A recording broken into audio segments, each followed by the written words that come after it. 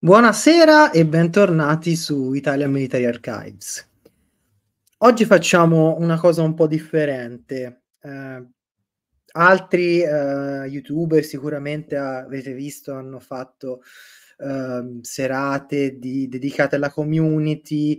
Io non non l'avevo mai fatto, ehm, anche un po' per ringraziarvi del insomma del dell'attenzione che state dando al canale negli ultimi mesi, ho deciso di dedicare un po' una una serata alla community e a rispondere a ad alcune delle domande che fate sotto i commenti, che magari non riesco a rispondere, ehm, domande che vengono su vengono fatte su Instagram, Facebook, eccetera, eccetera. Mhmm, per chi, mhmm, è attento, nelle scorse settimane ho fatto dei post su Instagram e e qui su YouTube per raccogliere le domande, perché mi piace, insomma, preparare delle risposte un po' sostanziali, ehm a a agli utenti e gli appassionati di cose navali. Poi ci sarà una parte cercherò insomma di non tenervi troppo a lungo e, ehm, dopo prenderò domande dalla chat prova provando a a rispondere così in diretta. Prima di tutto volevo fare una piccola comunicazione di servizio, ovvero che, ehm, volevo segnalarvi questa fiera, ops, ehm, Militalia, una fiera di, militare del soft air, però un ci sono 2 padiglioni dedicati a mhmm, alla vendita di libri, ehm, materiali per i reenactor e quant'altro. Per gli appassionati di storia militare è un un paradiso. Io di solito finisco sempre a tornare a casa con una borsata di libri, tra l'altro anche libri usati fuori dal commercio che non si trovano facilmente e che sono davvero delle perle. Quindi ve la volevo segnalare, io sarò lì il 22 ottobre, per chi fosse in zona scrivetemi attraverso i social e magari vediamo di incontrarci. Detto questo, torniamo a a noi e come vi dicevo, uhm, ho preparato una serie di risposte alle domande che sono pervenute, però prima volevo, uhm, chiarire una cosa. Il genere delle navi militari. Avrete, uhm, sentito che, uhm, io utilizzo "il", cioè il genere maschile, il Vittorio Veneto, il Roma, perché?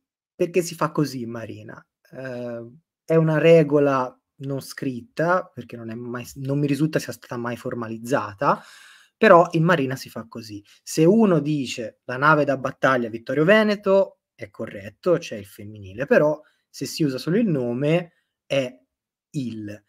Uhm, grazie a un amico ho recuperato un articolo del del '98 apparso sulla Rivista Marittima di Aldo Fraccaroli, più grande fotografo navale mai esistito in Italia, uhm, e lui nel '98 scriveva, mhmm, appunto su questa questione: "Navi militari italiane, tutte di genere maschile. Scrivo questa precisazione, inutili inutile per quanti sono in servizio, su esortazione di un ufficiale di marina e scrittore, che desidera vedere nero su bianco tale chiarimento, rivolto ai giornalisti e agli appassionati di marina che aspirano a entrarvi o ne trattano. La differenza tra l'uomo che serve o ha servito nella nostra forza armata e chi è tale chi tale non è, consiste appunto nel dire il Garibaldi invece che la Garibaldi". Uhm, parla di come anche lui in in Accademia Navale a Livorno nel nel '39, uhm, venivano istruiti a questo uso del genere maschile. E poi c'era un passaggio uhm, passaggio interessante in cui lui dice: "Se alcuni ammiragli e comandanti hanno scritto la Vittorio Veneto o la Roma, essi si valsero del femminile in libri destinati al grande pubblico, che si sarebbe potuto stupire nel trovare l'articolo il davanti al nome di una nave, di una corazzata di una corvetta". E poi qui c'è una cosa simpatica: "Di quel pubblico faceva parte il passeggero di una barca che nel '49, poco fuori Pescara, domandò a me, imbarcato sul Montecuccoli, se la carabiniere fosse partita. A questo riguardo è opportuno trascrivere le parole del linguista Luciano Satta in "Bada come parli e come scrivi". aperte le virgolette, gli uomini di mare, i quali anche se digiuni di vocabolario, nelle faccende loro sono inappellabili. Quindi con questo, diciamo, vorrei chiudere la, la, la questione de, degli articoli. Intanto saluto i vari eh, aficionados del canale, Sporting Artigliere, lo zio Mike, eh, nostro amico bolognese Vartema e tanti altri. Quindi, chiuso questo piccolo incipit, passiamo alla prima delle, delle domande, argomenti posti. Questa è stata fatta sia su Instagram che su, su YouTube è un tema ricorrente, infatti mi sa che toccherà farci un video prima o poi, ovvero il tema delle corazzate ricostruite. Io ne avevo parlato nel, nel video sulla politica navale italiana tra il 22 e il 40, e, però l'avevo messo insieme a tanti altri, altri temi, quindi magari stasera col, cogliamo l'occasione di, di, di riparlarne. Dunque, qui vi ho riportato la foto uh, del Cavour prima della ricostruzione e, e, dopo la ricostruzione. Guardate, ricostruzione non uh, ammodernamento, perché le navi furono radicalmente cambiate e quindi se per uh, le navi da battaglia britanniche si può parlare di ammodernamento, rimodernamento, in questo caso si deve usare il termine ricostruzione qui vi ho messo una piccola uh, li- linea temporale per ripercorrere gli eventi che sono fondamentali per capire la, il processo di ricostruzione. Um, ci, ci, vuole l'asterisco, avete ragione. Non lo, io non lo userò. Comunque, nel 1932 la Marine Nationale uh, imposta il Dunkerque, l'incrociatore da battaglia, in risposta alle, alla classe Deutschland impostata dalla Germania e in quella fase si considera il, ehm, il, il rimoder- la ricostruzione di Cesare eh, e Cavour. Questo perché non costruire nuove navi, nuove navi da battaglia, cosa che avrebbe potuto fare la Regia Marina, perché la Francia e, la, l'Italia, stando ai trattati navali, potevano impostare delle navi da battaglia prima della fine della vacanza navale perché avevano, partivano con un pool di, di navi da battaglia molto più datate rispetto a, a Gran Bretagna e Stati Uniti per dire. Quindi potevano farlo, ma decisero di, impost- di procedere al rimodernamento di quelle, alla ricostruzione di quelle navi perché era ritenuta una via forse più da una parte più economica, da una parte c'era anche il discorso che eh, ci sarebbero poi stati nuovi tra, nuove ne- negoziazioni eh, navali, non, non era chiarissimo ancora quanto sarebbero potute durare le vacanze navali, qual, quale sarebbe stato il futuro della, delle navi da battaglia, cioè ci sarebbero state, ma si si tenne, tendeva insomma per uh, tagliar corto a, a, prendere tempo. Nel 1933 iniziano i lavori su Cesare Cavour a Genova e a Trieste.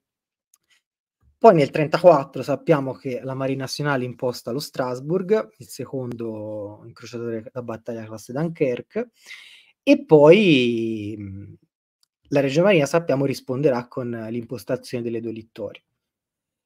Nel 1935 poi ovviamente la situazione internazionale in questa fase cambia, uh, come potete intuire. Uh, nel 1935 Italia e Giappone disertano i, coll- i, colloqui che si sarebbero dovuti tenere per il nuovo uh, trattato sul disarmo navale, che sappiamo dal 22 scadeva nel 30, nel 30 c'è ehm, il trattato di Londra che sarebbe scaduto nel 36 come appunto riportato qui nella, nella scaletta. E eh, nel 37 vengono ultimati i lavori. Poi succede che eh, vengono considerati già nel 36, vengono fatti studi per il, l'ammodernamento e ricostruzione del eh, Doria Duilio. Perché? E questo è un po' eh, un aspetto che nella storiografia è un po', un po' dibattuto, nel senso, se poteva avere un senso nel, nel 33, procede la ricostruzione di Cesare Cavour perché per i motivi che vi ho detto prima. Nel 37 non c'era più la vacanza navale, si poteva, diciamo, era un po' un bomba libero tutti, se mi concedete l'uso di questo termine. E queste navi, an- anche se ricostruite, sarebbero inevitabilmente state uh, inferiori alle nuove costruzioni di, di navi da battaglia, ma anche a eventuali ammodernamenti di, di, di super dreadnought della Grande Guerra o fine Grande Guerra. E quindi c'è un po' la, la domanda perché fu fatta questa, fu, fu, si procedette alla, alla, ricostruzione di Doria e Duilio. Per economicità si pensava di poter disporre eh, ad un costo relativamente ridotto di una squadra di quattro navi da battaglia che avrebbero comunque avuto il loro peso su, uh, nell'equilibrio di, di, una futura guerra, specie se con la Francia, che doveva comunque uh, impegnarsi in, in, su più mari. Uh, c'era sicuramente una soddisfazione per il risultato ottenuto su, sulle, sulle Cavour, quindi non c'è una, una una risposta uh, definitiva. Si, si, possono fare un po' queste supposizioni, si può dire che le risorse e soprattutto le maestranze usate per la ricostruzione di quelle due navi sarebbero mh, mhmm, state utili per magari velocizzare i lavori su, su Roma e sull'impero che eh, erano state appunto impostate nel 38 quindi magari il Roma sarebbe potuto entrare in servizio prima, punto di domanda, magari si sarebbero potuto allocare più mh, personale alle costruzioni belliche, quindi cacciator- in primis cacciatorpediniere, torpediniere, naviglio mercantile, può darsi. Uh, però comunque quelle navi insomma furono utilizzate nel, nel, nei limiti delle riserve di nafta che come sappiamo furono utilizzate poi nonostante fossero avessero dei limiti intendiamoci, di fronte a uh, squadre di incrociatori avversari, queste navi potevano tranquillamente tenere alla larga squadre di incrociatori avversari. Avevano sicuramente una loro, potevano, potevano trovare una loro utilità in una guerra dove l'obiettivo principale era quello della protezione delle, delle linee di comunicazione marittima, non trovare, darsi appuntamento alla tal ora, al tal giorno per la battaglia decisiva che una marina inferiore per quanto di una potenza uh, non al pari di, di, Gran Bretagna e Francia poteva permettersi di affrontare. Quindi insomma questo un po' il discorso uh, molto riassunto e visto insomma che è un argomento che in tanti poi tornano a chiedere, uh, magari ci faremo un video dedicato in futuro. Allora, poi c'è stata una domanda eh, riguardo l'ammiraglio Bernotti che mi ha fatto pensare che un, sarebbe bello anche lì fare degli approfondimenti specifici su, sugli ammiragli perché anche lì c'è molta, ci sono molti miti, c'è molta uh, disinformazioni, i soliti uh, ah, ammiragli traditori, ah, ammiragli incapaci, poi si va a chiedere quali sarebbero i casi, fate nomi e cognome, quali sarebbero i momenti, insomma, qualcuno tituba, qualcuno porta degli esempi che sono facilmente smontabili. Um, tra gli altri, insomma, Bernotti è un ammiraglio abbastanza poco sconosciuto, diciamo poco conosciuto agli appassionati, meno agli addetti ai lavori. Negli addetti ai lavori è una figura molto uh, conosciuta. Um, Mozzo ha nove anni, guardia marina già nel 1894 e che presto si dedicò a scrivere di, di cose, di temi navali e marittimi. Uh, ebbe un'esperienza bellica eh, sia nella guerra italo-turca che nella Grande Guerra e poi molto importante lui negli anni, negli anni 20 e negli anni 30 fu uno dei protagonisti assieme a, per dire, Fioravanzo e di Gian Bernardino, del dibattito strategico, dottrinale che avveniva su, su, attraverso la rivista marittima, avveniva attraverso pubblicazioni di opere, in cui si ragionava di cosa dovesse fare, non fare la Marina nel, eh, negli scenari che si sarebbe... Eh, che si sarebbero venuti a creare mh, nel futuro. Uh, fu anche il uh, fu creato nel, negli anni 20 l'istituto, l'istituto, di guerra marittima che lui uh, guidò per un po' di anni, che era diciamo un, un, istituto che aveva, luo- che aveva mh, posto nella, all'interno dell'Accademia Navale di Livorno e che appunto guidò per, per, alcuni anni. Viene un po' ricordato in quanto lui era uno dei uh, sostenitori della uh, necessità di dotarsi di un'aviazione navale e soprattutto di navi portaerei. Ora, non era il solo in, in marina a, a, perorare questa causa, poi ne ho parlato nel, nel video sulle portaerei, che ormai è vecchio da più, più di un anno, Um, e ehm, diciamo, mh, lui si trovò spesso a insomma a parlare chiaro a Mussolini, questo forse non, non gli fece bene per la sua, per la sua carriera. Uh, e poi in questo libro che ho, vi ho messo la copertina qui, è il suo libro di, di memorie, quindi è un'opera di memorialistica, quindi da sempre prendere come un'opera di memorialistica, però è interessante quando ci sono uh, scambi con altri personaggi dell'epoca. C'è, ho trovato un uh, curioso scambio con Italo Balbo. Nel, non mi ricordo se fine anni 20, inizio anni 30, c'è una crociera di quelle che faceva Italo Balbo uh, nel Mar Nero e lui va al seguito insomma della, della, squadra aerea come rappresentante della Marina e a un certo punto c'è uno scambio con Italo Balbo, Italo Balbo gli dice eh, in sostanza eh, tanto le, le, le, le, portieri non ve le faccio costruire insomma per rintuzzare no, il, eh, la ferma opposizione alla, dell'aeronautica che la Marina si dotasse di un'arma aerea propria e di uno strumento come la portaerei che avrebbe permesso l'utilizzo immediato del, del potere aereo, perché il, il, il, grande problema dell'avere sì delle basi, vici, delle basi aeree vicine al, alla zona di operazioni, eh, sì va bene, le basi sono vicine, ma un conto è avere le basi vicine, ma un altro conto, un altro paio di maniche avere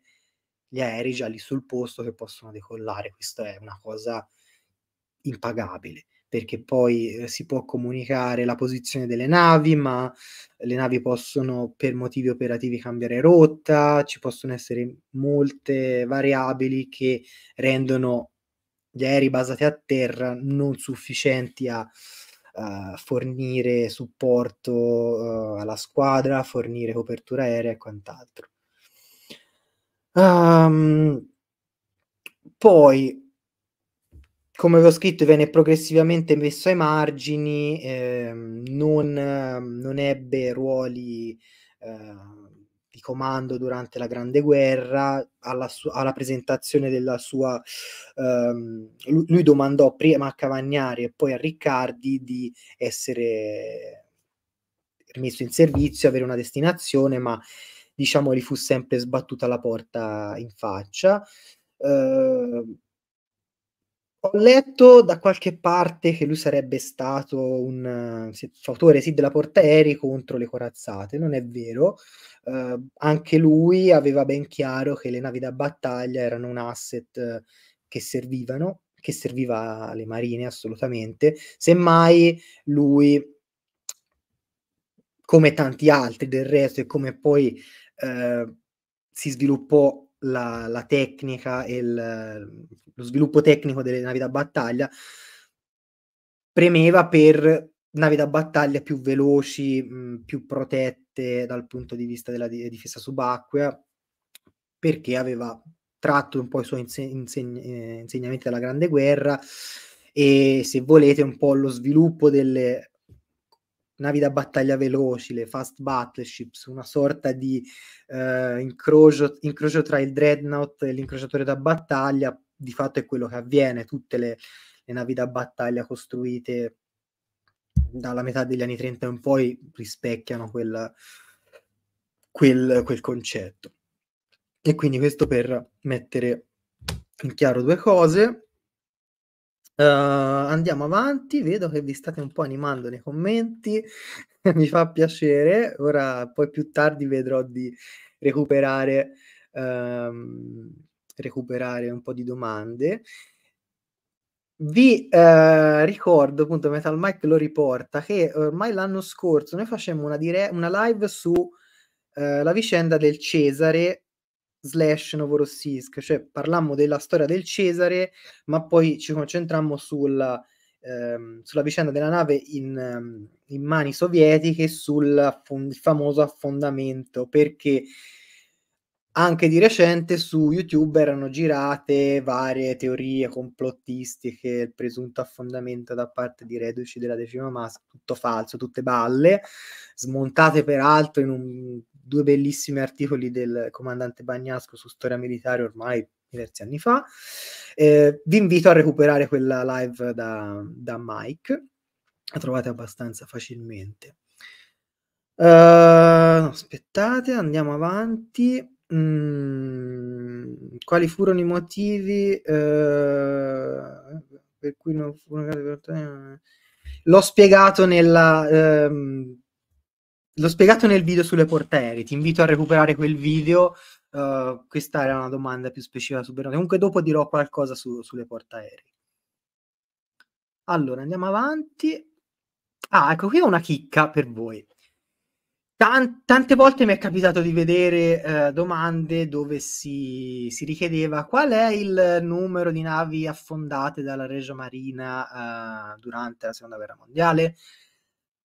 Ho messo insieme un po' i dati e ho realizzato questa piccola infografica, che è un po' un sunto del naviglio affondato, non solo dalla Regia Marina, ma ci ho messo anche eh, la Regia Aeronautica.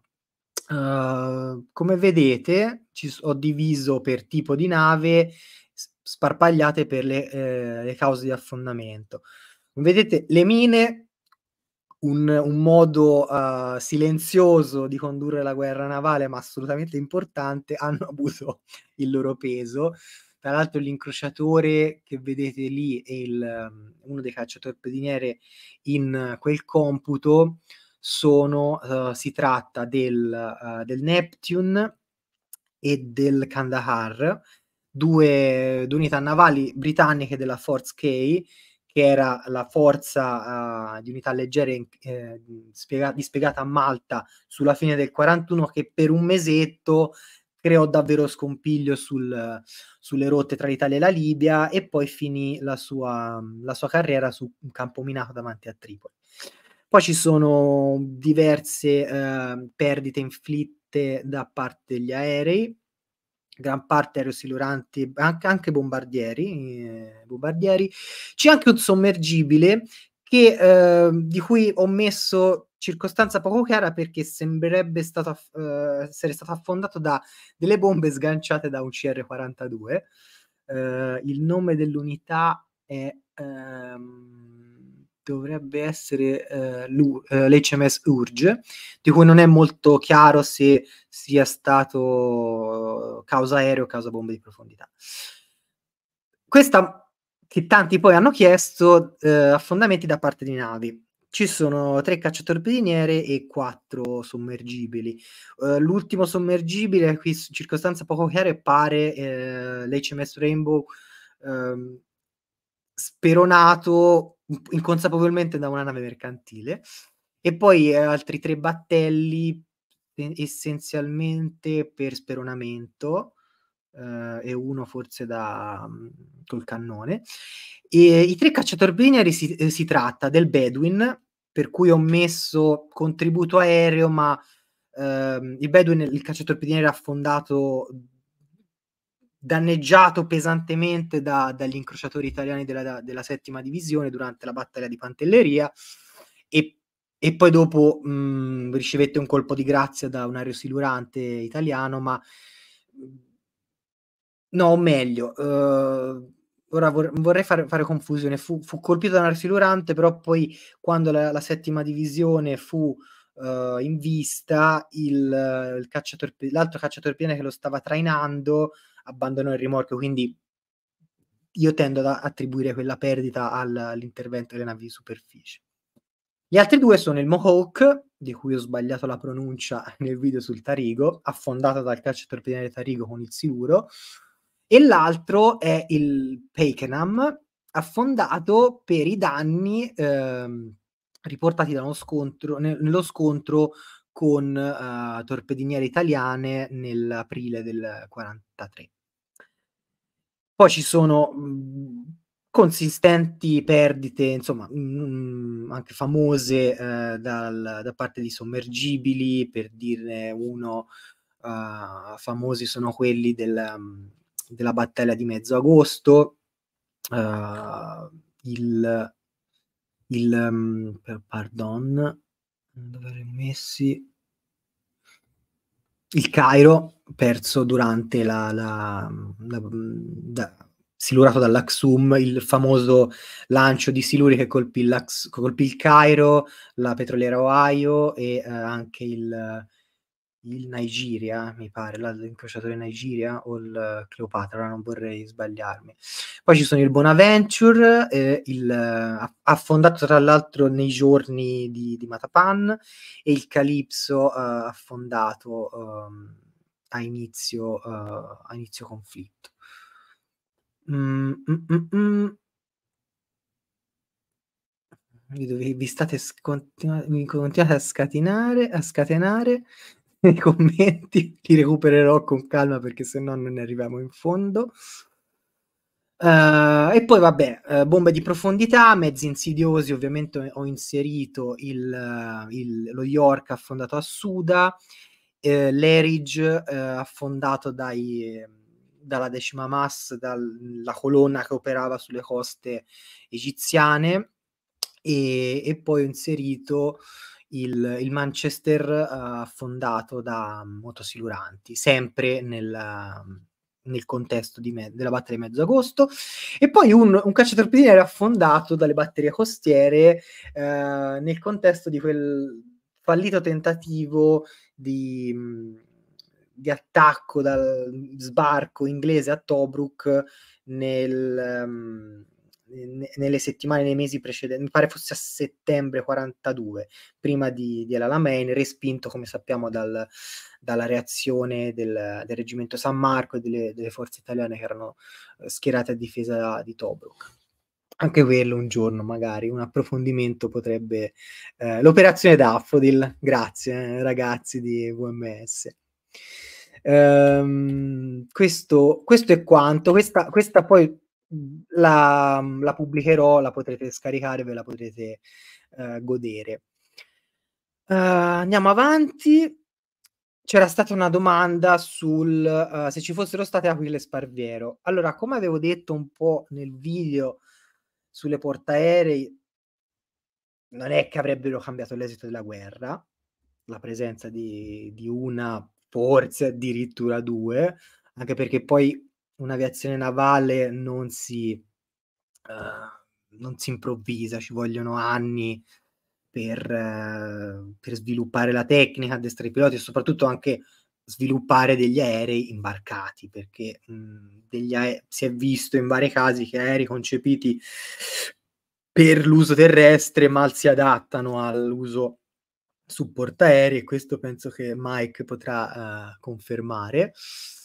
Ehm, sicuramente la presenza, qua qualora fossero state in servizio 1 o 2 unità, qualora ci fosse stata una componente aerea utilizzabile, specie per la protezione aerea, perché, uhm, per il sil per gli aereo anche lì, per gli aerosiluranti imbarcati ci sarebbero stati molti problemi, come sappiamo. Per la protezione aerea della squadra, quello sarebbe stato una cosa molto utile, che sarebbe tornata utile in occasioni come, uh, l'operazione Gaudo, quindi la puntata italiana in, in, in Egeo e a sud di Creta, che poi sarebbe stata solo a sud di Creta, dove poi ci sarebbe stato il tragico epilogo a Matapan. Lì sicuramente una copertura aerea della squadra avrebbe potuto prevenire la, uh, l'attacco degli aerosiluranti e quindi evitare tutta la, la, la tragedia che sappiamo. In altri casi pure di, penso al danneggiamento dei, del, del, Littorio durante mezzo giugno, l'affondamento del Trento durante mezzo giugno, eh, il Trento fu colpito da aerosiluranti e poi finito da un sommergibile. Probabilmente eh, scacciare l'attacco aerosilurante avrebbe forse salvato uh, la nave dall'immobilizzazione e poi dal, dalla, dall'esecuzione da parte del sommergibile britannico. Um, Mike ci ricorda dei, Reggiani 2001 che dovevano essere uh, teoria imbarcati sul, sulla portaeria Aquila, per cui si era anche concepito quel sistema per agganciarli al, al soffitto dell'hangar per fare spazio, perché anche lì devi avere un aereo in teoria con le ali ripiegabili per, per fare spazio. Quindi insomma ci sono tanti problemi tecnici che, che sarebbero sorti, quindi un'aviazione navale non, non si improvvisa uh, nel giro di poco tempo. Uh, poi vabbè, ho portato l'esempio perché qualcuno spesso me la, la cita, la quasi portaerei, la, la povera uh, Giuseppe Miraglia. Eh, cioè, la, nave porta idrovolante Giuseppe Miraglia. Eh, era un, una nave che non poteva eh, ovviamente accompagnare la squadra perché aveva una velocità limitata, faceva poco più di 20, 23 nodi, proprio se a 23 nodi non ci arrivava. Qualcuno nella chat potrà eh, confermare poteva teoricamente utile per pattugliamento marittimo di zone a, a bassa intensità, di aree a bassa intensità bellica. Detto questo, non poteva certo uh, il, Mira- il, povero Miraglia a accompagnare la squadra. Uh, un'altra domanda sull'annosa questione della precisione dei grossi calibri. Ora, tutte le risposte le ha date l'ammiraglio Santarini nella live dedicata al tiro navale nella Regia Marina che abbiamo fatto l'anno scorso. Una live lunga, uh, però tuttora la live più vista sul canale, quindi devo dire che avete apprezzato. Uh, un po' di punti sulla questione della dispersione e della precisione dei grossi calibri. Allora, telegraficamente, l- la Regia Marina aveva conosceva il problema della dispersione da molto tempo. L'ammiraglio Santarini citava di documenti risalenti alla, alla, alla Grande Guerra. Eh, l'ammiraglio Iachino mm, di, racconta di come ehm, canno- i cannoni delle navi austro-ungariche catturate che sparavano munizionamento austro-ungarico avevano una dispersione contenuta, ma quando utilizzavano uh, munizionamento italiano la dispersione aumentava. Ehm, nel, mhmm, nel 40, ai primi del 40 ci fu una, una commissione in cui faceva parte anche l'ammiraglio Bergamini che affrontò, avevano uh, osservato questo problema della dispersione sui calibri uh, da 320 uh, fino a, giù, fino a 120. Ora non mi ricordo se eh, No, non c'erano i, i, i 90 mm, non c'entravano, eh, dai, erano questi qui che vi ho citato e avevano osservato l- delle dispersioni anche che erano aumentate nel, negli anni eh, di addestramento. E loro all'epoca imputarono questo problema della dispersione a uh, errori, eh, problemi legati alla punteria. Cosa vuol dire? Gli orologi di punteria, uh, l'ASCII di, di trasmissione uh, che riportavano il movimento dei cannoni, uh, centrale di tiro, mov- movimento dei cannoni, imputarono il problema a questo. In realtà il, l'altro problema citato da tanta letteratura della qualità delle cariche di lancio parrebbe un po' un, un mito, diciamo, non, non, da non prendere per buono. Uh, poi c'è da ricordare un'altra cosa, che come vedete questa commissione affrontò il problema osservato sui eh, calibri da 320 in giù e um, non furono considerati i 381 perché in, quel, in, quella fase ancora non erano operative le, le, le due navi da battaglia Vittorio Veneto e Littorio. Successivamente poi dobbiamo ricordarci che i 381 spararono in quattro occasioni. In tre occasioni il tiro fu, um, fu effettuato a distanze superiori dei 23.000 metri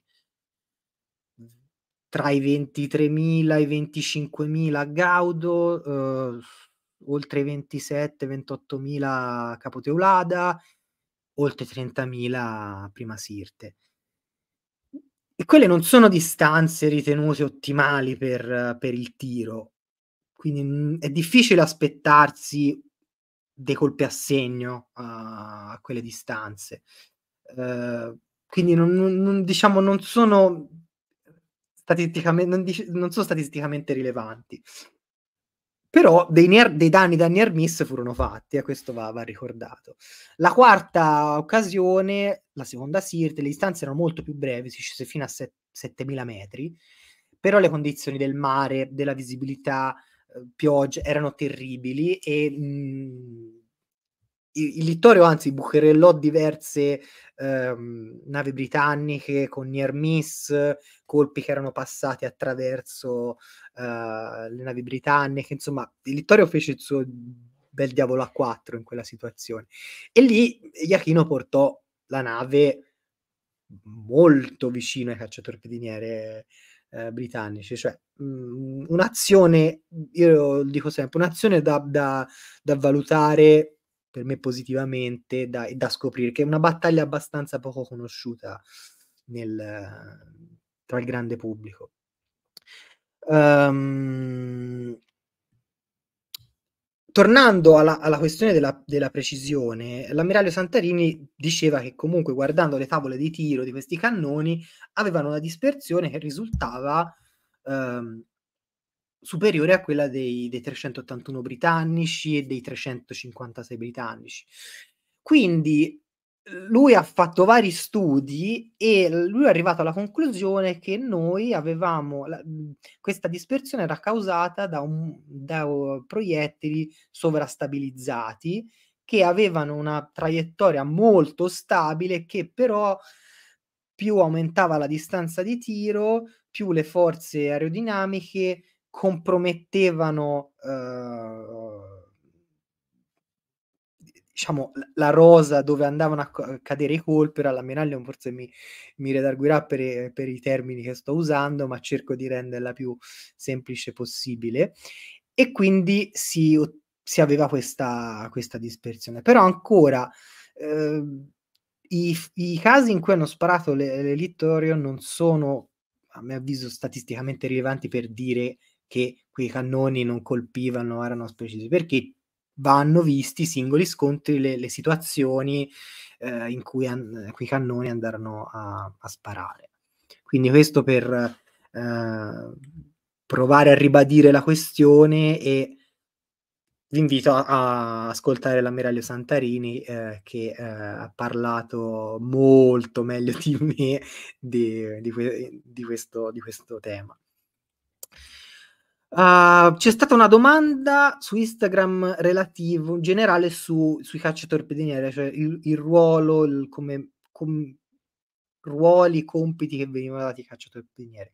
Allora, nascono a fine, il concetto nasce, lo dice la parola stessa, eh, come eh, mezzo per controbattere alle torpediniere che iniziarono a essere costruite a fine Ottocento e quindi la necessità di trovare una, uh, una na- un, un, mezzo che potesse uh, proteggere le altre navi maggiori, unità maggiori dall'insidia cacciatorpediniere, quindi cacciatorpediniere. In inglese sappiamo che si dice destroyer, ma all'inizio esisteva il termine torpedo boat destroyer quindi semplificato. Poi Mhmm, cerco di uhm, di limitarmi al alla Regia Marina e al periodo che va abbraccia le 2 guerre. Uhm nella Regia Marina esisteva questa distinzione tra cacciatorpediniere ed esploratori. Gli esploratori erano, se volete, dei cacciatorpediniere un po' più grossi. Poi anche lì ci furono durante la Grande Guerra, uhm, dove furono, uhm, costruite queste unità, uhm, gli esploratori parlo, i primi esploratori variavano anche lì, ehm, di tonnellaggio. Il ruolo, come vi ho detto, del cacciatorpediniere è quello di scorta alle squadre, scorta alle unità maggiori scusate, e, uhm, effettuare attacco silurante in varie uhm, varie situazioni, anche in a in situazioni notturne eh, perché, la Regia Marina, per quanto riguarda l'annoso problema del combattimento notturno, prevedeva l'utilizzo di uhm, del torpediniere, dei cacciatorpediniere in combattimento notturno all'attacco col siluro, uhm ovviamente la visibilità era un problema, non avevamo le ottiche per condurre il tiro, non avevamo i il tiro notturno dico, ehm, i telemetri non erano in grado di misurare bene le distanze, quindi ci sono molti problemi legati al tiro notturno. Altro altro tema che potrei approfondire, uhm non c'erano i mhmm, ehm, munizionamento a vampa ridotta, uhm, furono installati degli obici per il tiro illuminante sui cacciatorpediniere, ma non furono molto utili, infatti furono sbarcati, uhm, e sostituiti con armi per il tiro contraereo, 20 millimetri, 37 millimetri. Uhm tornando al discorso cacciatorpediniere ed esploratori diciamo, tra l mhmm, negli anni '20 e '30 si si sviluppa questa uhm, questa un po' distinzione, vengono fatti cacciatorpediniere, però poi vengono fatti, uhm, cacciatorpediniere più grossi, qualcuno li chiama, uhm, destroyer flotilla leaders, uhm, scout cruiser, se vogliamo qualcuno. Però vediamo che v si sviluppano cacciatorpediniere sempre più grossi, che poi arriveranno a definire il cacciatorpedinieri diciamo, uhm ti tipo della US Navy, del pensiamo ai Fletcher, grossi cacciatorpediniere che noi probabilmente avremmo etichettato come esploratori, o penso ai ai Tribal che il mio amico Alex Clark ha definito pocket cruiser, cioè incrociatori tascabili. Lui ha scritto un libro sul sui Tribal e sull'evoluzione del dei des dei cacciatorpediniere e l l'arrivo fino al cacciatorpediniere moderno. Uhm, c'è da dire una cosa sui nostri cacciatorpediniere, che appunto sulla scorta del del dell'esperienza della gua Grande Guerra, privilegia privilegiarono moltissimo doti di velocità per per poi effettuare attacchi, no, rapidi mordi e fuggi col siluro, uhm, anche anche di notte eh. Ehm, questo insomma ebbe diversi uhm, creò un po' di problemi perché per raggiungere certe velocità furono fatti certi tipi di scafi, questi scafi sappiamo in tutte le prime, uhm, classi di cacciatorpediniere, uhm, del degli anni '20 e '30 fino ai mhmm, fino a fino ai fino ai Freccia, Folgore inclusi, quelle navi avevano problemi di di stabilità, tenuta del mare e dovettero mhmm, dovettero subire un po' di lavori, un po' di di riarrangiamenti per limitare questi questi problemi. E poi dopo dai dagli Oriani ai Maestrale e Soldati questo problema fu un po' risolto, però comunque, uhm, ci furono casi come la la perdita, per dire, del lanciere dello Scirocco che per via di anche avarie alle macchine furono persi per condizioni del mare estremamente, ehm, critiche. quindi avevano un problema di di tenuta nel del mare, ehm, mentre invece possiamo possiamo dire i i famosi classe navigatori, do le 12 unità della classe navigatori, nati come esplora esploratori, ehm, meglio, nati come cacciatorpediniere, poi esploratori poi di nuovo cacciatorpediniere, ehm, si rilevera rarono delle navi interessanti che sì, dopo le modifiche non potevano raggiungere più di 28 nodi, quindi avevano una limitazione nel servizio di squadra, ma furono perfetti per il servizio di di scorta a ai convogli. Infatti si si dissanguarono nella lotta, ehm, per la difesa dei convogli. Uhm, un'altra cosa importante da dire, e per cui vi rimando anche a questa fantastica monografia del comandante Bagnasco su, uhm, cacciatorpediniere classe soldati, che trovate ancora abbastanza facilmente perché è di 2 anni fa. Uhm, i cacciatorpediniere italiani avevano un problema un problema di autonomia di apparati motori, perché avevano un'autonomia inferiore a, mhmm, coeve classi, uhm, tipo i Jervis, p parlo dei soldati, nell'analisi che fa Bagnasco, uhm, lui li compara ai Benson americani e ai Jervis britannici, dove mostra che c'era una uhm, un'autonomia inferiore. Questo era dovu questo era un'autonomia inferiore tra l'altro a un uhm una dotazione di combustibile simile, okay, perché c'era un un consumo, mhmm, superiore delle delle nostre caldaie, consumavano troppo e questo ovviamente creava dei problemi di autonomia e poi molte unità ebbero a subire di ehm, problemi, noie all'apparato motore durante la guerra. Quindi sì, sicuramente c'era questo fattore che che limitava molto, infatti, ehm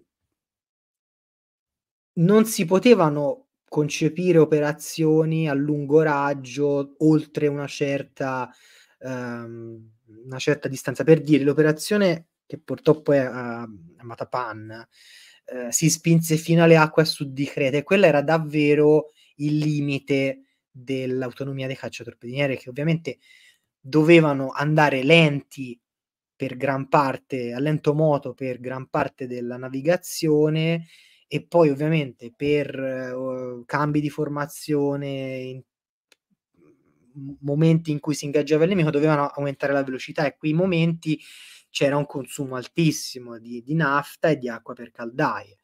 E quindi questo era un fattore che andava tenuto molto in considerazione. I mhmm, fenomeni da baraccone che parlano di, ehm, incredibili azioni che si sarebbero dovute fare per bombardare la costa egiziana, bombardare, ehm, Alessandria, Gibilterra, non non erano fattibili perché i cacciatorpediniere non ci potevano arrivare scortando la la squadra e quindi non di cosa parliamo?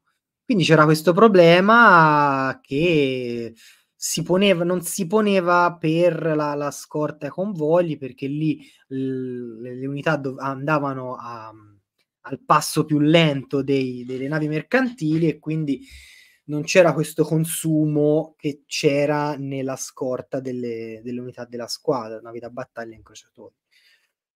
Quindi questo spero di avervi detto tutto quello che vi volevo dire sui cacciatorpediniere. Ehm, mh, mh, mh. Qui continua il dibattito, mi fa ehm, sì Mike, attacchi alle ho letto anche questo, attacchi con la flotta ad Alessandria, Gibilterra, ne ho lette di tutti i colori. Tra l'altro una cosa, ehm, su Matapan a che su cui facemmo una live l'anno scorso e su cui ci sarà qualcosa di nuovo a un certo punto, forse quest'anno o l'anno prossimo, inizio dell'anno prossimo, ehm uno dei il discorso dell'autonomia dei cacciatorpediniere ebbe un ruolo in alcune delle scelte che furono fatte, s pro specie anche dall'ammiraglio Cattaneo nel tornare indietro a, a soccorrere il Pola. In quella live su Matapan ne abbiamo parlato, quindi vi invito a recuperarla. Poi ci sarà modo per riapprofondire la, la questione.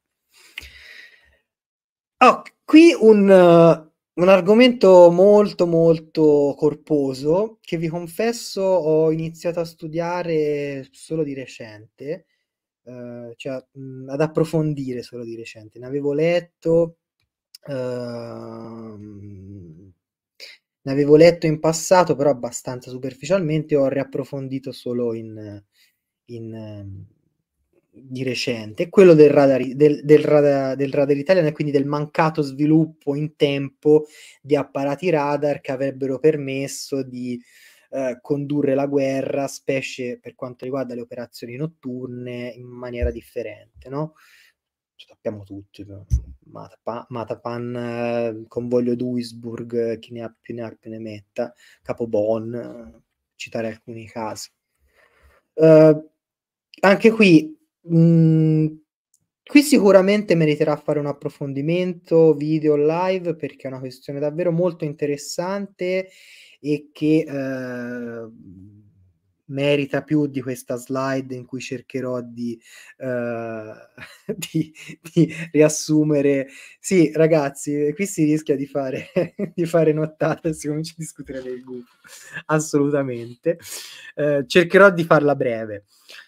Allora, Marconi già negli anni 20 teorizzò la, la possibilità di... Uh, radiolocalizzare eh, eleme- cose in movimento, ok? E eh, tra il 33 e il 35 fece del, degli esperimenti dove di fatto eh, si dimostrava che eh, l'irradiazione delle, delle onde elettromagnetiche e la possibilità di eh, localizzare eh, delle, degli elementi in movimento. Tra l'altro la storia del che lì fantasiosa del raggio della morte, cioè era dovuta a quello, era il rad, era questi esperimenti, ma che non avevano nulla a che fare con un'arma segreta particolare. Nel 36, eh, sappiamo, Marconi morirà di lì a breve nel 37. Eh, nel 36 viene ehm, decisa la prosecuzione degli studi su questo apparecchio che avrebbe dovuto uh, effettuare la localizzazione e la mhmm, misurazione delle distanze uh, attraverso um, onde elettromagnetiche appunto radiotelemetro, cioè la concezione era di un apparecchio anche per misurare in primis.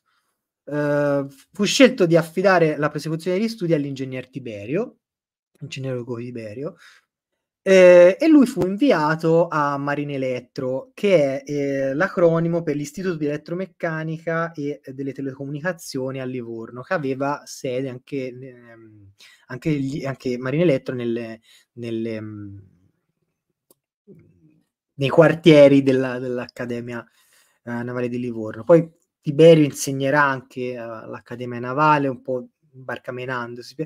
In sostanza, viene, a, viene scelto di um, fare gli studi su que, sul radar, chiamiamolo radar per semplicità, v- viene scelto di fare questi uh, studi e vengono uh, studiate due opzioni, la due vie, diciamo, la, il radar per modulazione di frequenza o il radar a um, impulsi la sto semplificando, un esperto di elettrotecnica magari ne avrà che ridire, ma eh, cerco di, di, di, semplificarla al massimo. Tiberio iniziò a lavorare su quella a mh, mm, modulazione di frequenza o, o onda continua, se vogliamo, e che però si sarebbe rileva- rilevata, eh, rivelata pardon, la via sbagliata, perché quella giusta, virgolette, era quella di impulsi nel 37 eh, arriva, ah scusate, e già nel 36 viene testato questo, il primo apparecchio che vedete nella foto in alto, l'EC1, che era un apparecchio uh, ad impulsi, eh, no, pardon, era un apparecchio a modulazione di frequenza che non dette eh, i risultati eh, sperati. Nel 1937 eh, arriva quest'altra figura mh, mm, abbastanza importante in questa storia che è il capitano Alfeo Brandimarte, che inizia a collaborare con Tibero e lui avrebbe dovuto costruire la, uh, il prototipo che funzionava ad impulsi.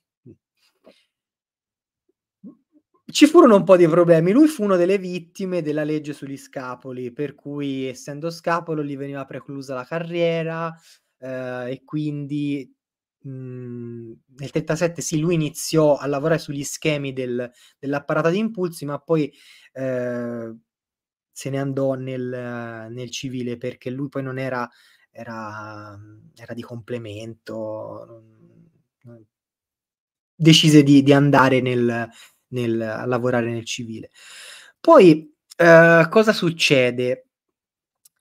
Nel 39 inizia effettivamente la costruzione dell'apparato ad impulsi che era un po' rimasto lì incompiuto ehm, e viene collaudato, eh, viene collaudato, però non, sì, non era ancora molto promettente, viene chiesto alla, a, alla ditta Safar di, di avviarne la produzione però anche lì, lì ci si scontra con le molte limitazioni di carattere industriale e tecnologico che c'erano in Italia, perché l'Italia, ricordiamoci, non era una potenza industriale al pari delle altre potenze europee.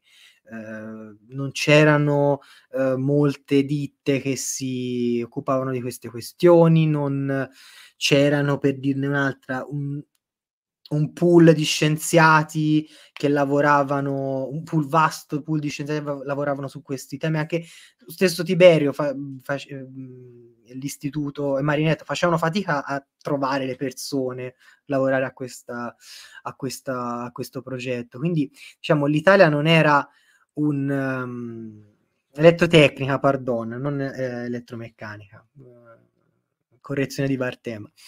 Uh, si faceva fatica a trovare queste persone perché l'Italia non era il posto ideale per sviluppare questo. Poi c'era un, alt- un altro tema interessante, quello della eh, diffusione dei radioamatori, cioè la diffusione dei radioamatori in America mhmm, creò uh, una situazione per cui tanti piccoli problemi furono risolti dalla massa di persone che aveva a che fare con questi apparecchi, eh, e che venivano risolti attraverso il processo trial and error, no? cioè provi, mh, mhmm, provi un'altra cosa, eccetera. In Italia questo, ma anche in altri, pa- in altri paesi, era, era, vietato perché ovviamente si voleva impedire la diffusione di radio clandestine e cose simili, e quindi non ci fu questo apporto, se vogliamo, dal, dai, dai privati cittadini. Ehm, non c'erano laboratori in università dove si potevano testare queste insomma una serie di limitazioni del mondo scientifico, del mondo industriale che anche sul lato della produzione di massa di questi apparecchi mh, mhmm, dicevano, persistevano molti problemi. Infatti, anche quando poi si arrivò alla costruzione dei, dei, ehm, dei gufo, non si arrivò mai a una produzione sufficiente alla necessità, quindi c'erano anche queste limitazioni. È un po' ingiusto dire che, eh, come è stato scritto, detto da alcuni, che la Reggio Marina non capì la cosa. Cioè, la Reggio Marina investì in questa cosa, non fermò i, i, gli studi, furono portati avanti sicuramente in un panorama dove mancavano sempre i fondi, eh, per carità, cioè, sappiamo mancavano i fondi per costruire le navi, eh, mancav- mancavano le maestranze per costruire le navi e mancavano anche per sviluppare questi, questi, questi apparecchi. Quindi era un po' l'ambiente generale, il contesto generale che non favoriva eh, lo sviluppo di questi, di questi apparati. Um, qualche altra tappa. Um, nel febbraio del 41 c'è questa um, questo episodio che mi, mi piace ricordare, febbraio del 41, eh, l'ammiraglio Iachino rifiuta la proposta del comandante Tazzari di imbarcare i tre prototipi navali del, dell'EC1 e dell'EC2 che erano, uh, funzionavano su modellazione di frequenza eh, ed EC3 uh, ad impulsi che era, che era quello che avrebbe dovuto funzionare quello giusto, diciamo tra virgolette, che però non aveva dato esiti molto positivi. In più mancava la formazione del personale, insomma mancavano tante cose, per cui Iachino rifiutò uh, l'imbarco di questi, di questi apparecchi perché non, non, sembravano aggeggi che avrebbero forn- intanto funzionanti, eh, perché poi anche lì, quando sviluppi un radar, poi devi... Ehm, il primo, l'EC1, il primo EC1 non era un apparecchio imbarcabile, dovevi creare una versione imbarcabile, in più dovevi anche risolvere il problema del brandeggio, perché sappiamo che il radar deve girare, per girare ha bisogno di un motore, un traliccio, se vogliamo, e questi comportano spazio, pesi che su una nave uh, hanno una loro importanza perché pesi troppo in alto creano problemi di stabilità, gli spazi sono quelli che sono, quindi ci sono un sacco di problemi. Gli spazi anche del motore per far girare l'antenna vanno presi in considerazione. Infatti, i, i gufo, che verranno montati, anche quelli che vedete in foto, verranno montati in posizione fissa o brandeggiabile quello in alto solo per. Uh, no, scusa, posizione fissa e brandeggiabile nel caso uh, del, mi viene in mente sui incrociatori eh, capitani romani, solo per uh, movimento del, dei telemetri, dei torri dei telemetri, delle uh, SDT. Quindi anche lì un sacco di, di, di limitazioni, di problemi tecnici da risolvere di, che non possono essere banalizzati. Poi dopo, lo sappiamo, c'è, c'è Matapan, tutti i problemi che sappiamo, la... e, si, e si tornò da Tiberio a Marine Electro e dire ci serve questa, questa che voi sviluppiate questa aggeggio che funzioni. E in aprile ci fu il primo test, il primo vero test soddisfacente del, dell'EC3 ad impulsi. Poi in quell'estate l'apparato fu imbarcato sul Littorio, però anche lì c'erano problemi legati al fatto che l'operatore non riusciva a, dis- a distinguere bene gli echi in mare, perché poi ovviamente un conto è testarlo uh, sul tetto di un, di un, palazzo, un conto è testarlo in mare, insomma tutta una serie di, di problemi tecnici non banali. Uh, settembre del 42 il, uh, l'EC3 Ter Gufo quello che conosciamo gufo viene imbarcato, eh, diventa operativo, ma come ho detto, uh, solo in posizione fissa.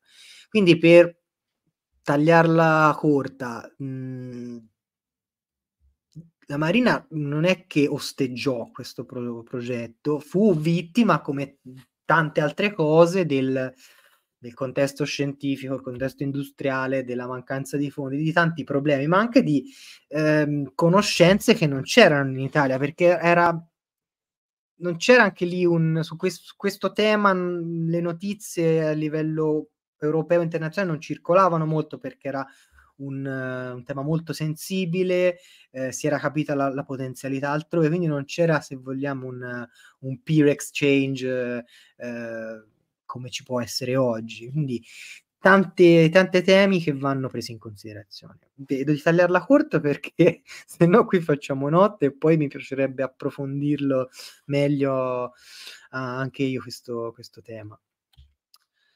Uh, c'era una domanda sulla uh, genesi degli aerosiluranti, quindi un pochino più uh, aeronautica.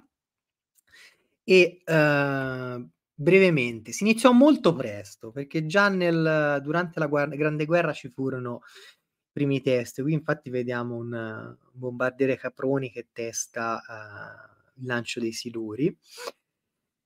Uhm, ci fu ovviamente il la questione dei siluri, uhm, fu anche un po' presa nel mezzo dalla le varie diatribe che sappiamo tra aeronautica e aviazione, aer aeronautica e marina, pardon, Però ci fu soprattutto il l'avversione anche dell'aeronautica a questo questo sistema d'arma montato sugli aerei. L lo sappiamo, l'aeronautica seguiva perseguì la strada del bombardamento in quota, che comunque aveva si vide poi nell'esperienza bellica, ebbe le sue limitazioni.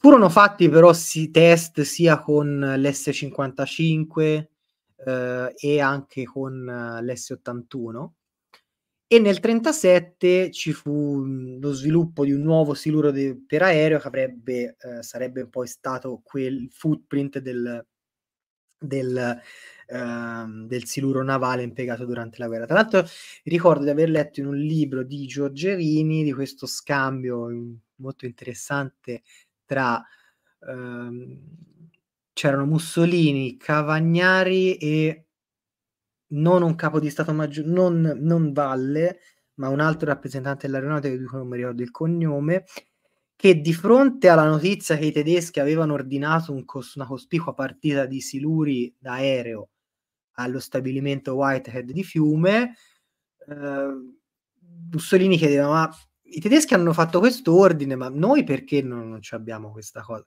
E l'esponente dell'aeronautica avrebbe risposto perché il mio capo, eh, la mia forza armata non credono in questo, in questo tipo di, di arma. E, e, da lì insomma la cosa creò un po' di, di, di imbarazzi. E, si iniziò poi a trattenere alcuni dei siluri della partita tedesca eh, furono trattenuti e poi si arrivò al, um, all'agosto del 40 con le prime poche unità operative. E poi nell'ottobre del 40 fu, uh, fu costituito il primo nucleo operativo. E poi ho trovato una, una curiosa, uh, un curioso episodio di cui non conoscevo le, l'esistenza, ovvero che um, nell'agosto del 40 sì, eh, ho preso questa dal Diario del Comando Supremo alla riportata alla data del 16 agosto del 40. Fu effettuato un attacco sul porto di Alessandria d'Egitto, eh, dove, eh, vedete, eh, notte sul 15, 3 S-81 hanno bombardato e colpito la linea ferroviaria tra Fuca e Marzamatu. Eh, sempre il 15, 7 S-79 dalla Libia hanno bombardato gli impianti del porto di Alessandria Successivamente, cinque apparecchi siluranti hanno attaccato le navi in porto. L'attacco non andò a buon fine, i siluri si... ho letto che si incagliarono nel basso fondale, però fu fatto questo, questo attacco. Forse l- i siluri che si, in, si inabissano nel basso fondale fece pensare che eh, Taranto era salva, probabile, non, potrebbe essere.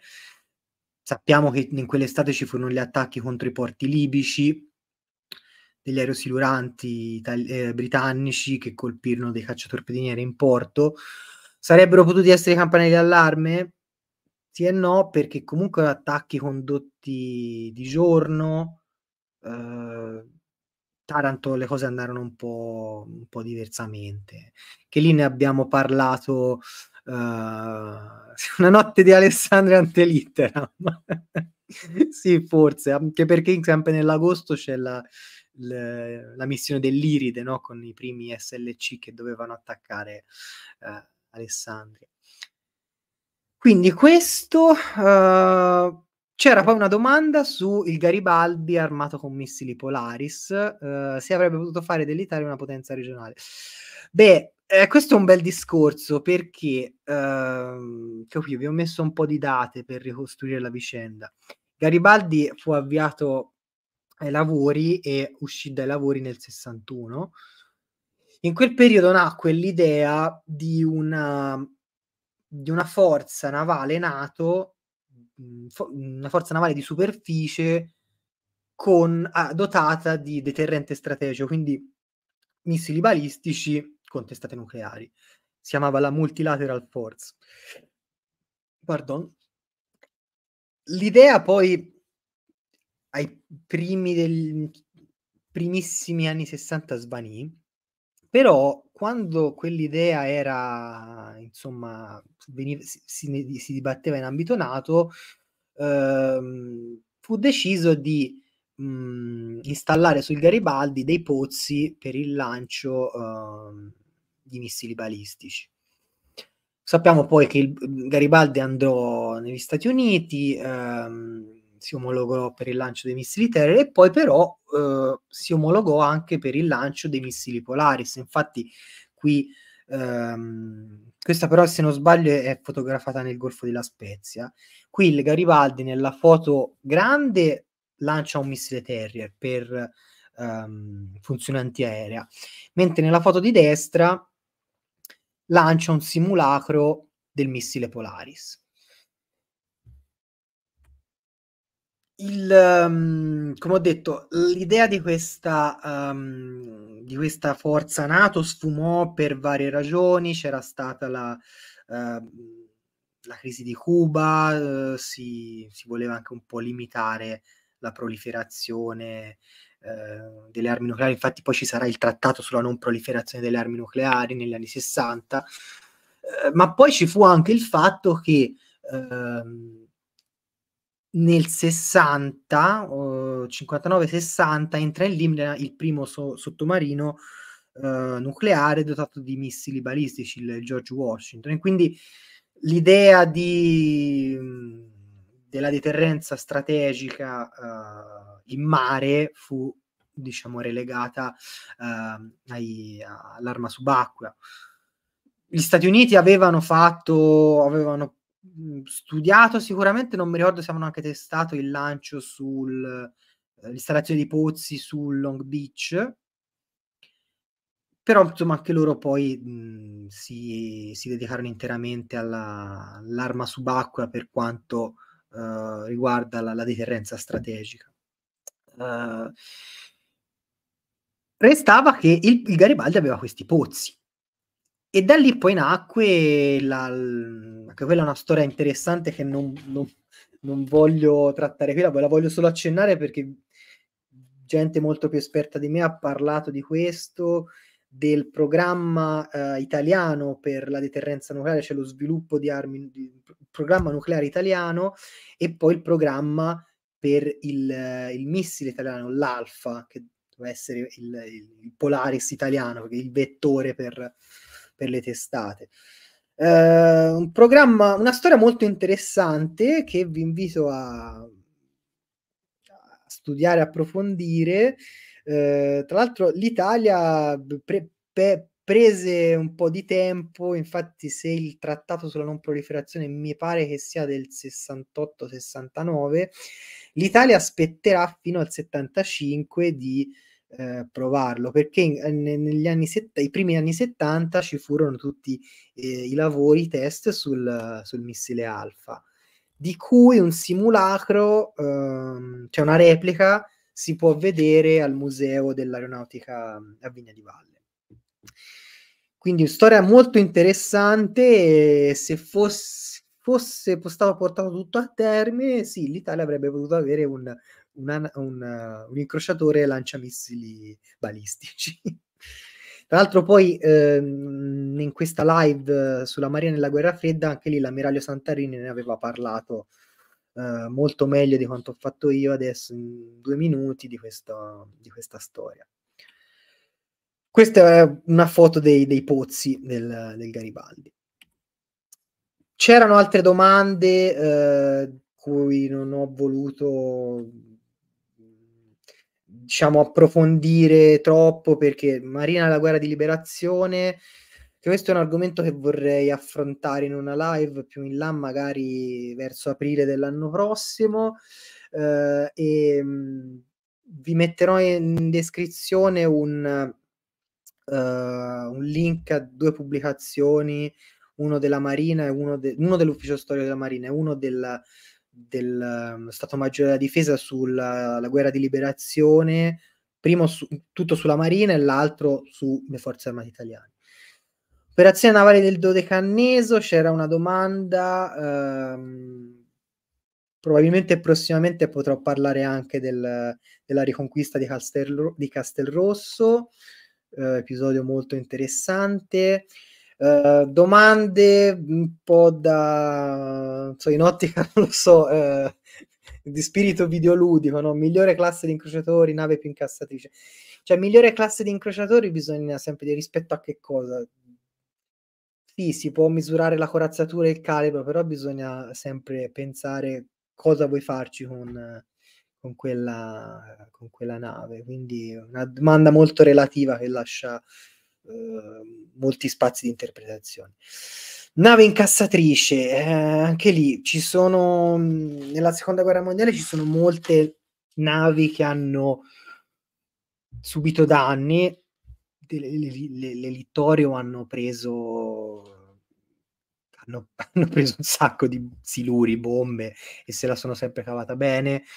Um, il, il Garibaldi e il um, ora vado, vado, a memoria lo scipione africano, insomma, non mi ricordo quale, uno dei, dei capitani romani furono vittime di lanci di siluri di sommergibili britannici che li asportarono totalmente la prua e comunque essendo navi molto solide, molto incassatrici se vogliamo, eh, riuscirono a tornare in porto tranquillamente senza la prua e, e videro poi la prua eh, ricostruita. Quindi anche lì ci sono un sacco di, di, di esempi che potrebbero, potrebbero calzare. Ecco, sicuramente non i Giussano e Cadorna. Ecco, quello, mi sento dire che quelli non erano le incassatrici. Allora, detto questo, sono finite le domande che avevo selezionato. Ora vedo magari di recuperarne qualcuna um, dalla chat. Se avete domande eh, al volo, fatele così magari le vedo anche, eh, anche più facilmente perché recuperarvi tu, visto che avete, avete animato molto la barra dei commenti. Eh, ragazzi di War Meme Squad Italia c'è nel CT Carabiniere, eh, grande nave che ha, ha avuto insomma un'epopea molto eh, interessante anche il, eh, la storia della navigazione nel, nel, nell'Oceano Indiano, quando si presenta la Royal Navy per uh, possibile coinvolgimento nell'addestramento per gli aerosiluranti, insomma una storia anche quella molto interessante da trattare in un approfondimento sulla Marina nella guerra di liberazione. Um, mm, mm, mm. Accorto. Uh, qualcuno che è stato a Vigna di Valle e che non si è accorto del, del, dell'alfa. A proposito del Garibaldi, perché non fu preservato? Eh, ho letto che ci fu effettivamente la, um, il tentativo di uh, renderlo, trasformarlo in una nave museo, ma anche lì i soliti problemi di bilancio. Tra l'altro siamo negli anni 70, gli anni in cui uh, la Marina riuscì a, a, ottenere una legge navale perché avrebbe um, permesso alla Marina di continuare ad esistere perché l'invecchiamento nel, del naviglio, l'obsolescenza del naviglio era arrivato a un punto tale che ur- urgeva una, una, una, legge navale, del, quindi degli stanziamenti eh, eccezionali per l'impostazione di nuove navi. Evidentemente anche lì per questioni di bilancio fu, fu scelto di non, non preservarlo. Um, mm, il Tarigo, del Tarigo ho parlato, in, ho fatto un video sulla battaglia del convoglio Tarigo. Uh, vicenda molto interessante per i risvolti di intelligence perché ve la butto lì. Um, la Regia Marina fece delle immersioni sul relitto del Mohawk affondato dal Tarigo per recuperare documenti segreti e re- recuperarono del materiale, tra cui le mappe dei campi minati in, davanti ad Alessandria d'Egitto. Quindi vi lascio immaginare per cosa siano, sono state usate quelle, quelle mappe. Um, allora, ci saranno uh, altre live su, come quella su Punta Stilo che si focalizzano su un'unica battaglia? Sì, eh, di progetti ce ne sono tanti, però uh, il tempo è tiranno, però piano piano, magari anche qualche video, visto che ho iniziato a fare diverse mappe, come quelle che avete visto ne, nel video su parte 2 eh, sull'elittorio, le mappe che abbiamo mostrato nelle varie live Mediterraneo 42, Mediterraneo 43, eh, 9 settembre, eccetera. Eh, c'è la volontà sì, di coprire anche battaglie specifiche con eh, mappe il più accurate possibile, anche perché non si trovano, se, se googolate battaglia XY, eh, eh, raramente trovate mappe in alta definizione o cose più recenti. Ecco. Uh, Sull'indagine dei siluri difettosi eh, fabbricati a Bahia, ahimè, eh, ho letto anch'io della cosa, ma non l'ho approfondita, quindi eh, non parlo di cose che non conosco, per citare un film. Um, vediamo un po'. Riguardo alla live sui sommergibili, avete detto che molti sommergibili sono stati affondati da sommergibili austrici e con quale armamento vengono combattuti questi scontri? Allora, qualcuno fu perduto principalmente per um, offesa da siluro.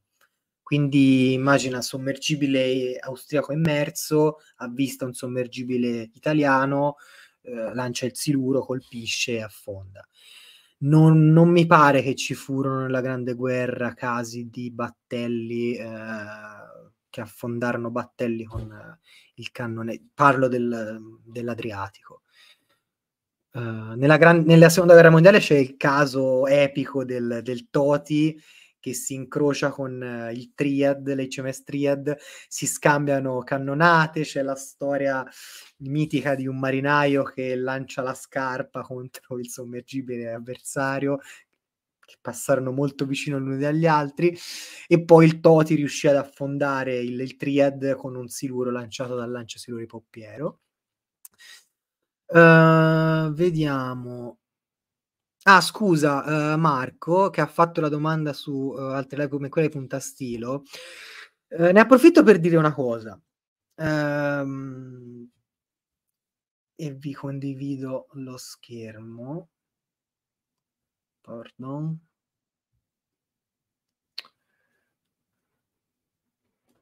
Allora, voglio dire una cosa. Mm. Qualche, in qualche live abbiamo citato la rivista Marittima. Allora, la rivista Marittima è un, una pubblicazione fantastica che vi permette di... Uh, la vedete? Sì, sì, la vedete. Ora aumento... Uh, Ok, ora lo vedete meglio. La rivista Marittima, dicevo, è un, una pubblicazione della Marina che eh, liberamente ci si può abbonare per ricevere eh, un costo bassissimo per ricevere l'edizione cartacea, però qui sul sito della Marina trovate anche eh, i numeri pubblicati in formato digitale. E dentro trovate molti articoli scritti da esperti, temi d'attualità, eh, discussioni su sistemi d'arma. In uno degli ultimi numeri c'è un focus sui sistemi uh, missilistici, c'è un bellissimo articolo dell'ammiraglio Santarini sulla difesa antimissile. Um, mar- la prossima settimana, credo martedì, uscirà il prossimo numero e ci sarà qualche uh, contenuto uh, interessante per quanto riguarda uh, Puntastilo. Quindi vi invito a monitorare il sito della Marina la, la, prossima settimana.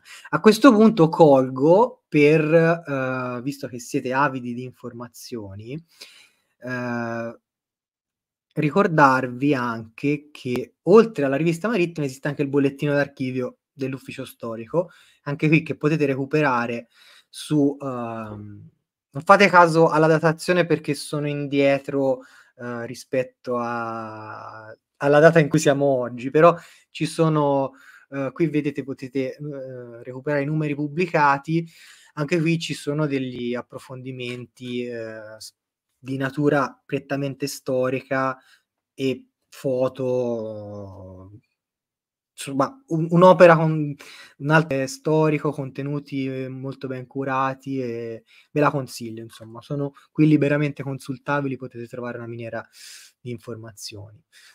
Um, detto questo, vediamo. È vero che proposte.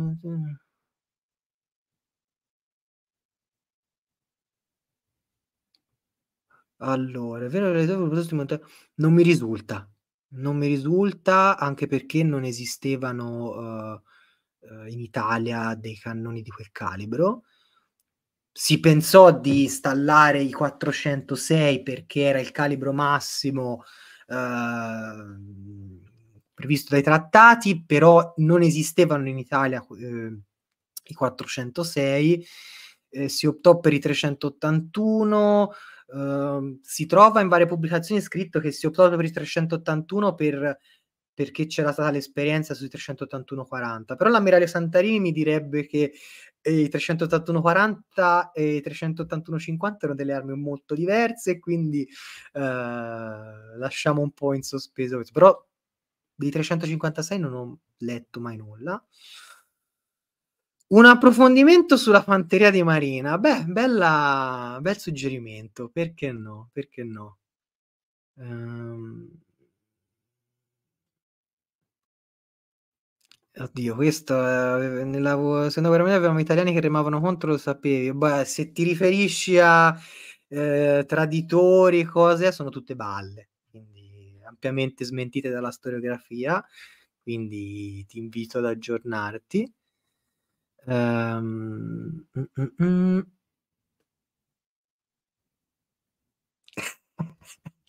Ciao Marco, sei entrato nel momento perfetto. Ehm, vediamo un po' più su. Mi mancava qui vedo avete fatto un bel dibattito lungo, magari vediamo all'inizio se c'era qualche domanda, se ne avete fatele adesso.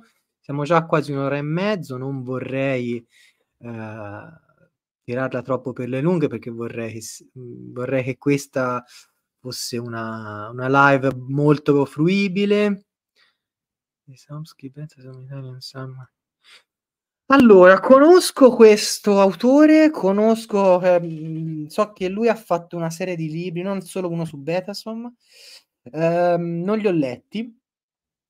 Sicuramente ha il merito di parlare di, ehm, questioni italiane in lingua inglese, però non li ho mai letti, quindi non ti so dire ehm, non ti so da dare la mia opinione. Però esistono, sì, c'è questo autore che credo sia polacco, non vorrei dire una bestialità, che ha scritto una serie di libri su mi ricordo uno su Betasom, ma ne ha scritto anche credo uno su Frontier su su sull'Armir. Quindi lo lo vedremo. Raccontaci anche del del Casamatta Festival. Allora, per chi non lo sapesse c'è stato a settembre il primo, uhm, festival, uhm, letterario di storia militare, non in Italia, ma nella penisola italiana, diciamo, perché, ehm, ha avuto luogo a San Marino. Uhm, ne ha parlato Mirko di Parabellum, ne ha parlato anche Mike in una live. È stato un una bella iniziativa, uhm nata dal dall'idea del storico amico Andrea Santangelo, che è venuto ospite del canale per le live Mediterraneo 42 e 43. Bella edizione, in una mol cornice molto bella quella di San Marino, che è davvero un posto molto interessante, mi è piaciuto. Si è parlato di tante cose, ehm, il successo c'è stato e ci sarà un'altra edizione.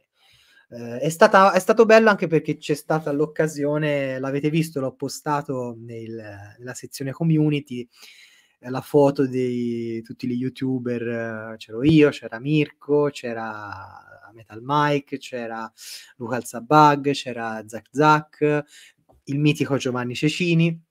Ehm, spero di non aver dimenticato nessuno, non solo youtuber, anche, ehm, ospiti di Mirko, tipo Andre analisti come Andrea Gaspardo. Ehm, insomma è stata un anche una bella occasione per vedersi dal vivo e non non rimanere relegati, no, al alla dimensione digitale. Quindi sappiatelo che il Casamatta Book Fest esiste, ehm, e lotta insieme a noi. Uhm, vediamo un po', uhm, ti risulta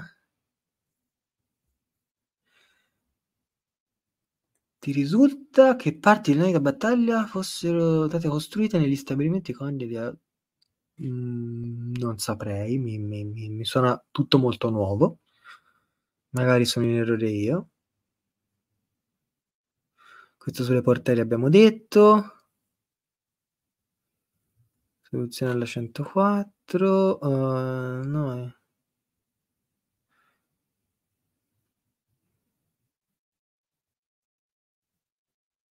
Scusate, sto recuperando i commenti. Mhmm, credi che se non affondai No vabbè, questa mi sembra un po' un'esagerazione. Credi che se non affondava il convoglio Tarico nell'aprile del 42 potevamo vincere la fred no, assolutamente no non è che cambiava la guerra il convoglio Tarico. Portava elementi della, mi pare, quindicesima Panzerdivisionen, ehm ma, mhmm, in quella fase non si era nemmeno aprile 41 non si era ancora giunti a davanti a Tobruk e quindi sì, perdite, ma non non cambiava la la l'esito della guerra assolutamente. Il problema del della logistica rimaneva, perché tu puoi, ehm, far affluire tutte le le le le risorse che vuoi e la marina, lo sappiamo, portò delle percentuali alte di uomini e di di materiali sulle coste nordafricane, ma poi ri rimaneva il fatto che li dovevi scaricare a Tripoli, qualche volta a Bengasi e poi dovevi trasportarle in prossimità del fronte, in prossimità dei depositi, dovevi consumare carburante per trasportarli, ehm, c'era sempre penuria di veicoli, ehm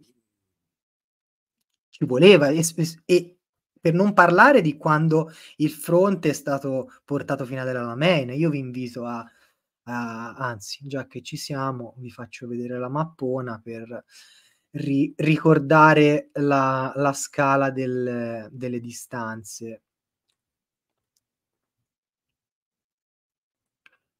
Allora, questa è la mappona che vi ho abituato a vedere. Ehm, convogli, la maggior parte arrivavano a Tripoli. Quando Bengasi era occupata dalle forze dell'asse ed era agibile, veniva usata Bengasi. Fu usata in minima parte anche Tobruk nell'estate del 42, però rendiamoci conto, signori, delle distanze. Ehm, portare materiali giornalmente fino a qua comporta uno sforzo logistico che, ehm, l'Italia e la Germania la Germania con le risorse che che aveva devoluto a quel fronte non non non era pensabile di di raggiungere. Quindi nella Materialschlacht che si sviluppa in Africa settentrionale non non c'erano c'era da aspettarsi esiti troppo diversi, insomma. La marina poteva trasportare, ehm, le i rifornimenti, ma la geografia, ehm, e anche la scelleratezza di alcune decisioni prese da, ehm, un certo comandante un po' troppo spesso mitizzato, ehm, hanno giocavano il loro luogo, ecco, il il loro ruolo, ecco. Pu vediamo se c'è qualche altra domanda. Uh.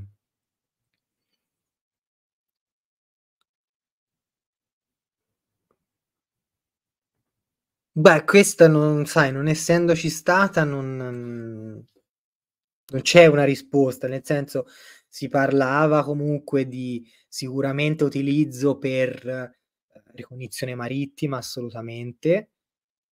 Ehm, comunque c'era sempre il problema, ehm, sappiamo che il nostri velivoli usati per la ricognizione marittima non avevano una grande autonomia, quindi non c'era per dire il Sunderland italiano, per capirci.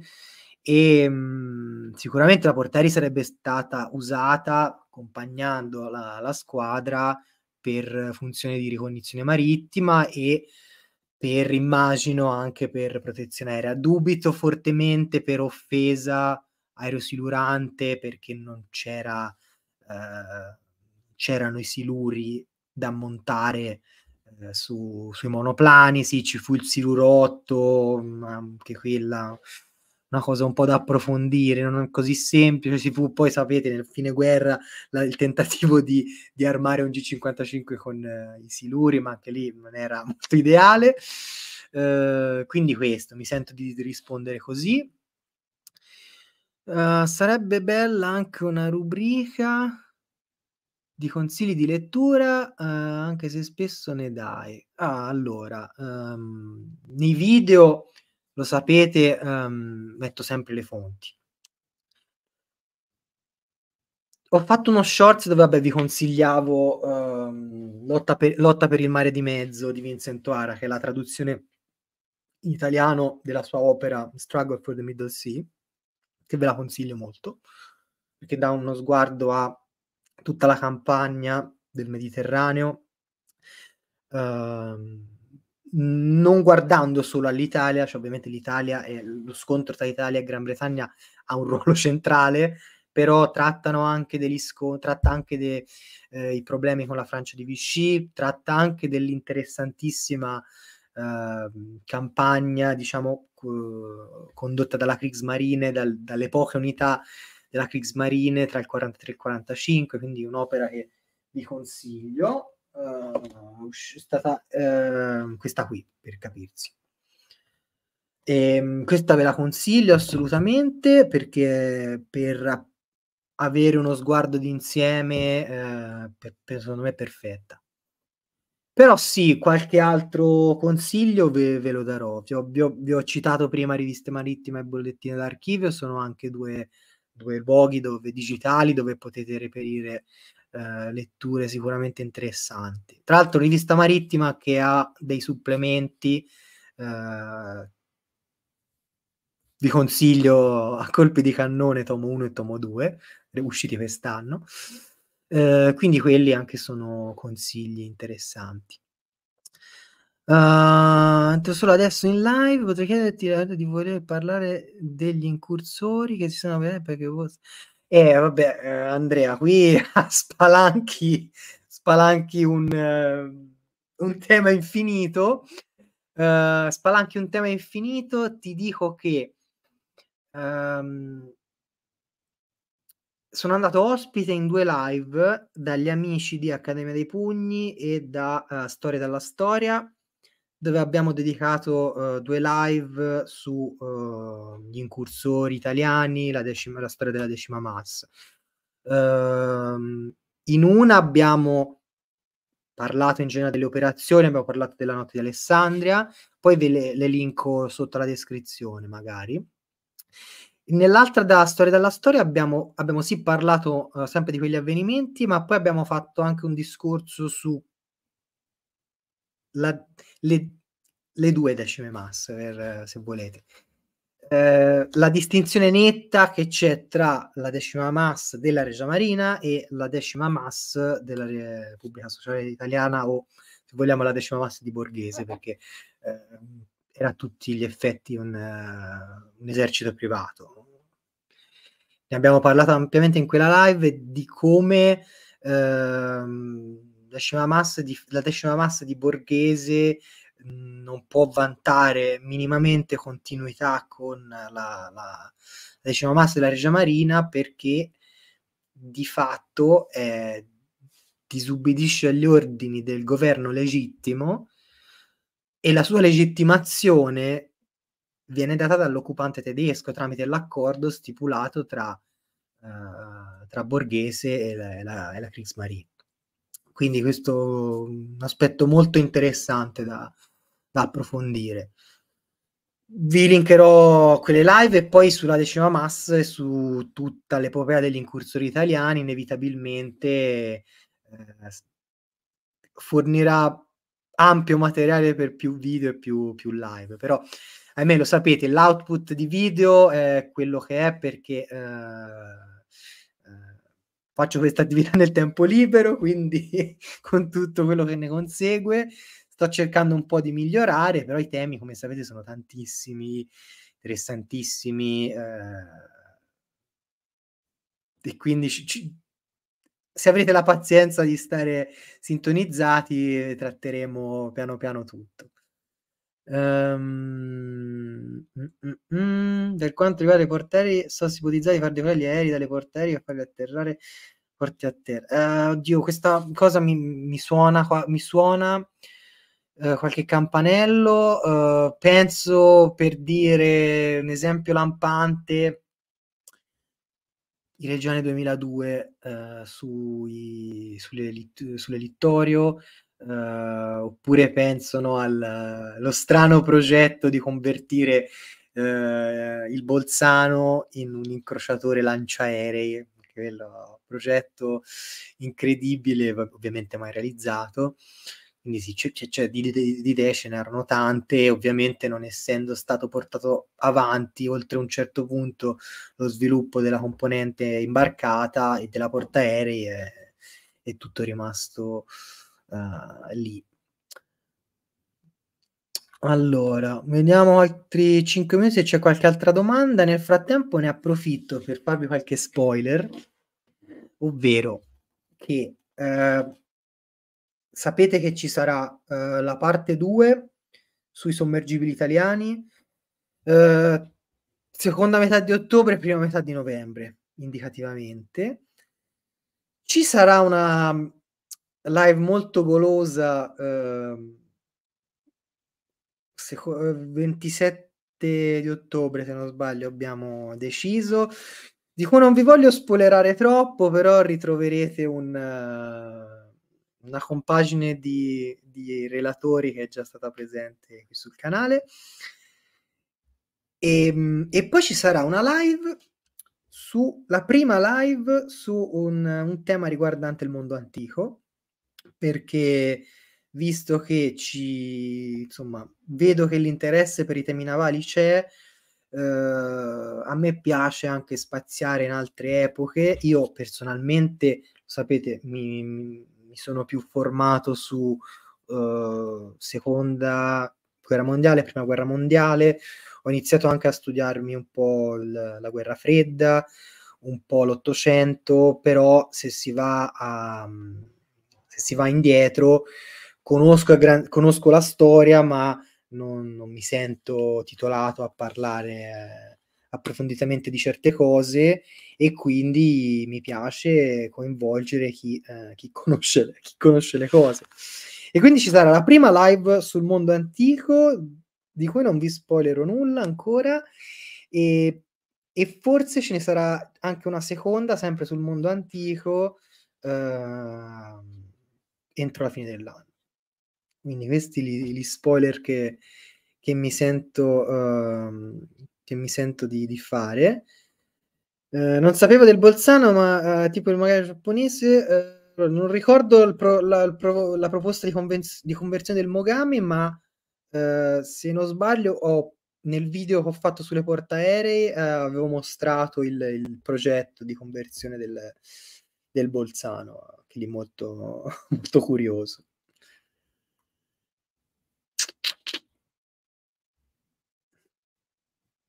Ah, aspettia aspetta, c'è un ehm, il buon Marco ci dice: "Per quanto riguarda i tre ai 356 erano ipotesi per l'incrociatore da battaglia studiati all'inizio degli anni '30." Vero, il progetto c'era, comunque quei cannoni non non furono mai mai sviluppati in in Italia, come sappiamo. Avevamo i 305 e furono ritubati 320 e poi furono sviluppati 381-50. Mhmm, questa l'abbiamo già vista. Che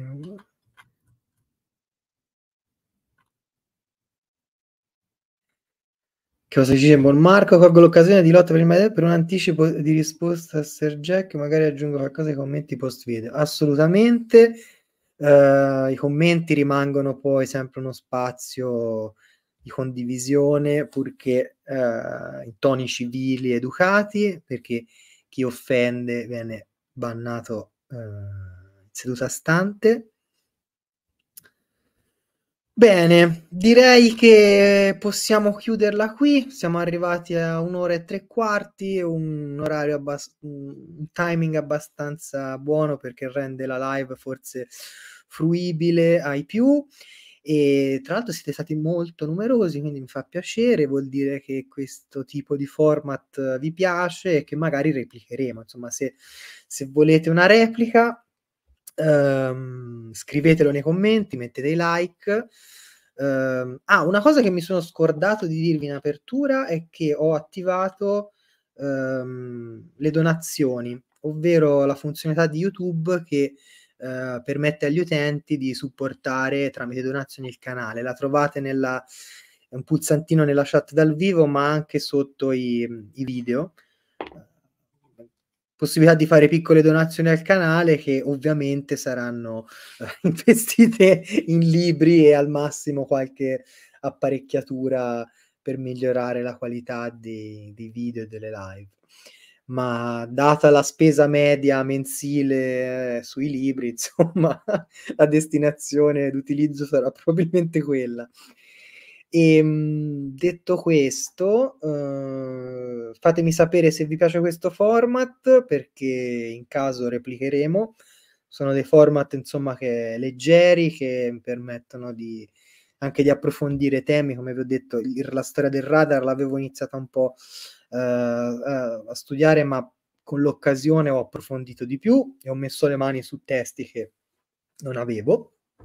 E Uhm quindi fatemi sapere se se vi può piacere questo format. Nel caso, come ho fatto per questa volta farò dei post dedicati su YouTube, Instagram, forse anche Facebook, dove vi chiederò di mandarmi le domande, così che le posso, insomma, sostanziare meglio come come spero di aver fatto stasera.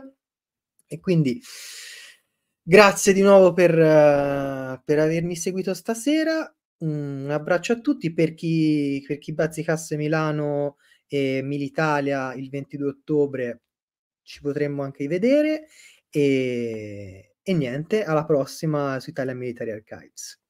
Grazie a tutti e buonanotte.